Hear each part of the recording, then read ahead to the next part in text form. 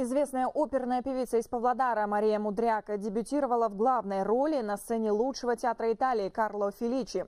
А зарубежные критики назвали это сенсацией, потому как покорить европейскую оперу в 19 лет случай просто феноменальный.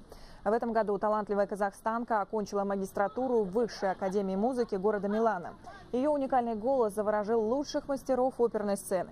Сейчас Марии Мудряк поступает масса предложений и приглашений на главные роли в итальянских оперетах но график ее гастролей уже расписан на два года вперед.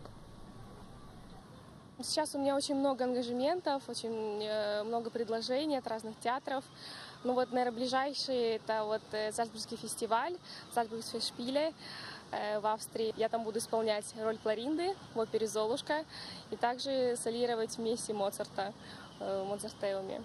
После чего в сентябре у меня начинаются уже репетиции оперы «Любовный напиток», который будет происходить в двух театрах Италии.